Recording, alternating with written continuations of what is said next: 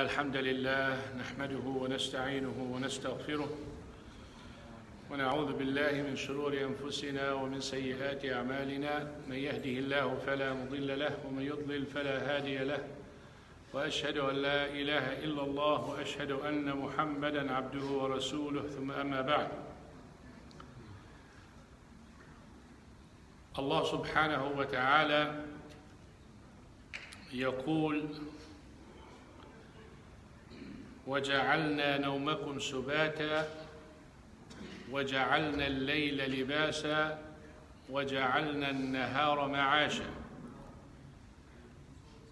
ويقول سبحانه وتعالى وهو الذي جعل لكم الليل لباسا والنوم سباتا وجعل النهار نشورا.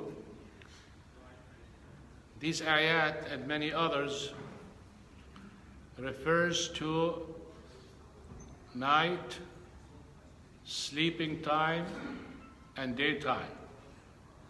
Allah subhanahu wa ta'ala made the night, the darkness covers us like a garment, so to prepare us for sleep, where you get the rest. And He made the day bright, so you wake up and you go to work and you run your affairs. This is how Allah subhanahu wa ta'ala set this life. At night, time to sleep, and during the day, time to work. Prophet Muhammad sallallahu alayhi wa sallam يقول كما روى صخر ابن وداع رضي الله عنه قال قال رسول الله صلى الله عليه وسلم اللهم بارك لأمتي في بكورها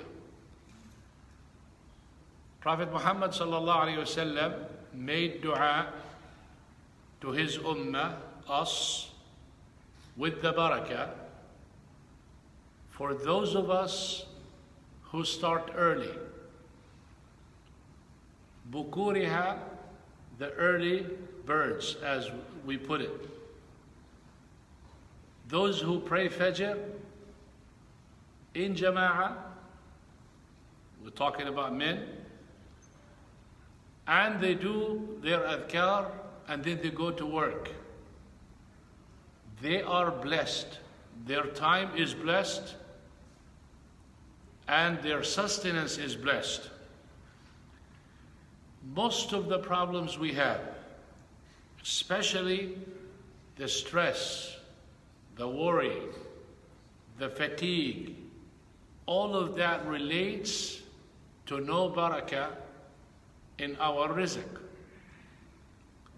If your rizq is not blessed, you're not going to make enough money, you're not going to get what you want, you're going to be sad, you're going to be working extra hard, and you're going to have a miserable life, and even your age, the time that you spend, is not even fun.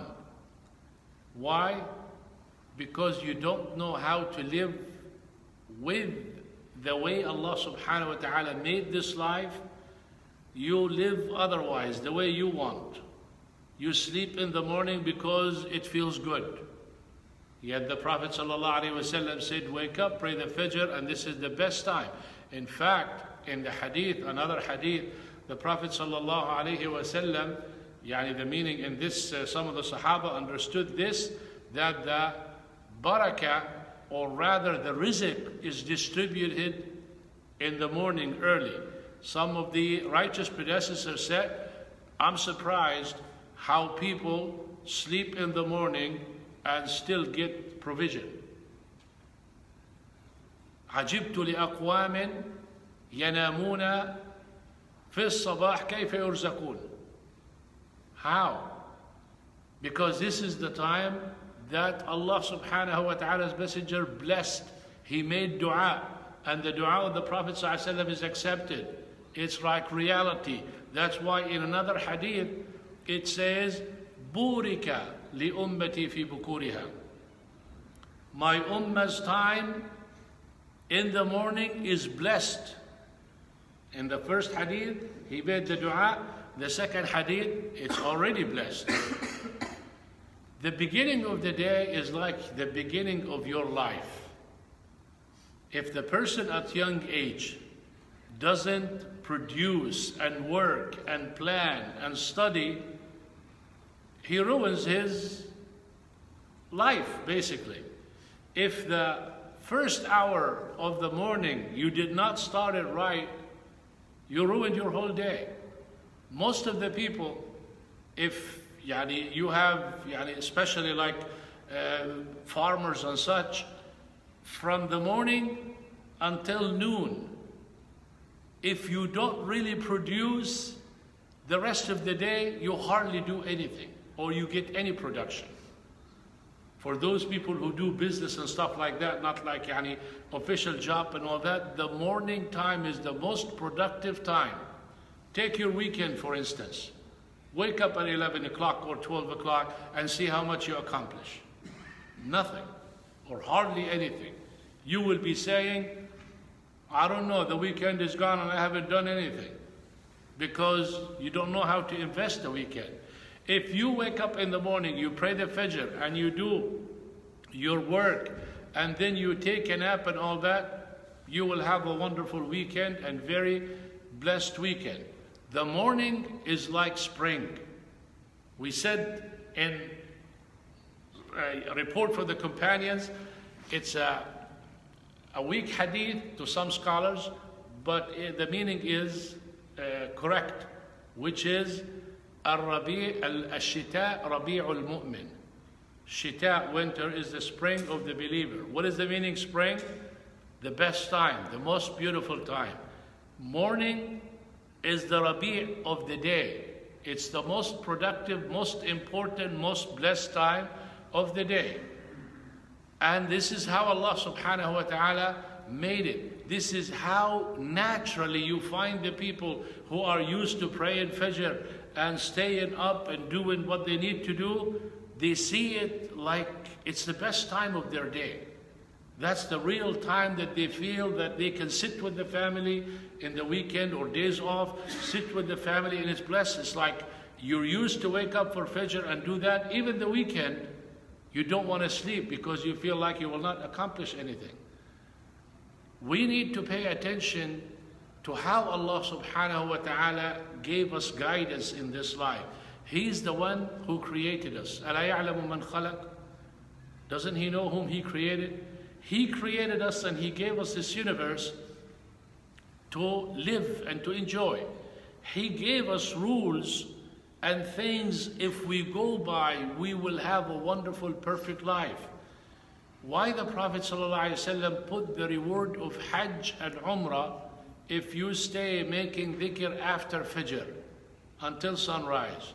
Why this much reward? Is it a wasted hour of your day? It is your day. It is the most blessed hour of your day. It's the hour that is going to help you make up so many things in short time and perfect so many things in short time and gain so many things in short time because of that. This is evident for the people who live by the command and respect and love the command and believe in the command. We look at serving Allah subhanahu wa ta'ala sometimes as, as it's a waste of time. It's like, uh, you know, you're in a hurry, in a rush to do something, you say, go ahead, brother, pray two rak'ah to facilitate your life and to make things easy for you. No, no, no, no, brother, I don't have time. You know, I gotta go, I gotta go. And actually, you do have time for two minutes. Those two minutes can make so many things happen. Just like I gave an example before.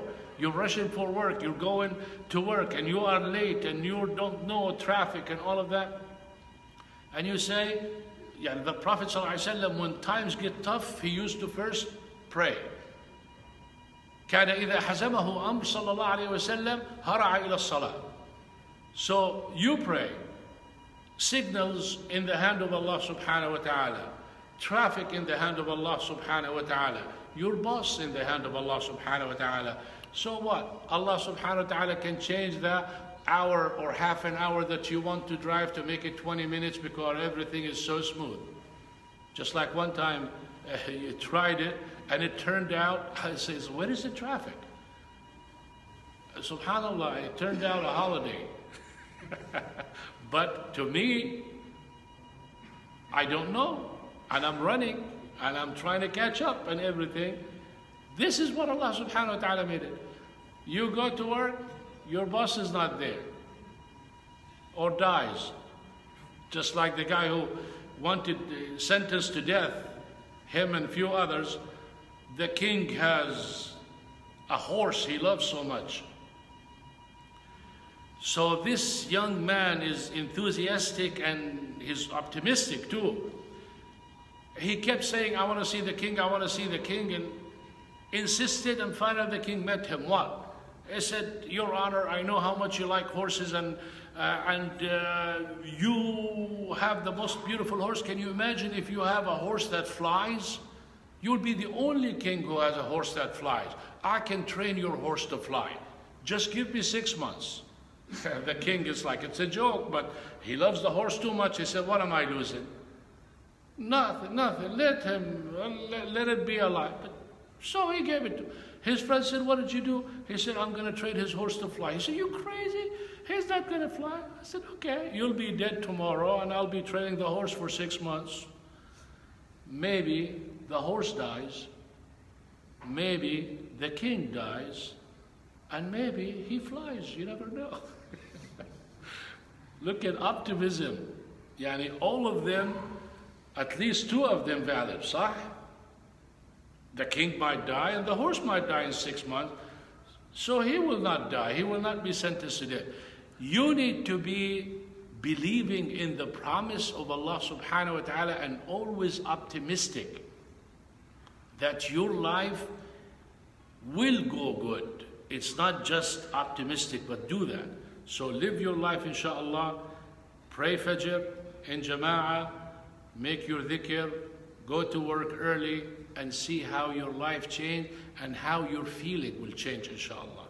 Allahumma barik li ummati fi bukuriha. This is the dua of the Prophet sallallahu alaihi wasallam.